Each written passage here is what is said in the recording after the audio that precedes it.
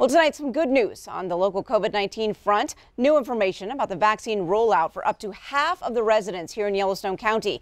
Now, that means vaccination will move from the healthcare workers, first responders, and long term care facilities to phase 1B which includes all people 70 years and older, people 16 to 69 with high risk medical conditions, American Indians, and other people of color. Yellowstone County Health Officer John Felton says local hospitals and clinics have been inundated with calls from people wondering when they can be vaccinated. He says, please be patient. That communication is on the way. So we're, we're putting together a, a communication plan that will allow us um, early each week to notify the community how many doses are available, where they're available, and how you access them. Until such time as that vaccine supply stabilizes, it's going to it's going to differ from week to week.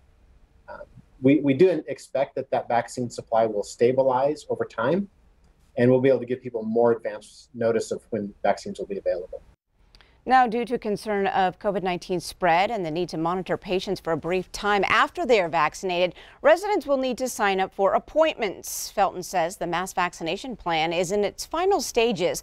While vaccine supply remains low, the plan includes Riverstone Health, St. Vincent and Billings Clinic.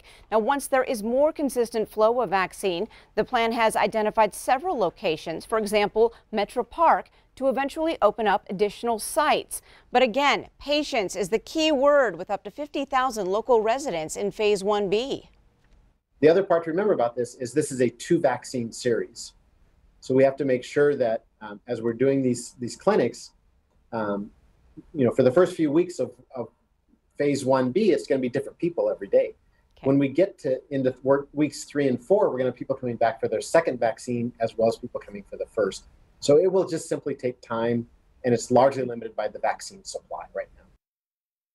And to clarify, Felton says there is no master sign up list to get vaccinated. Once the plan details are released next week, we will communicate those steps. And Q2, of course, will monitor the situation and have the information you need to know on air and online at ktvq.com.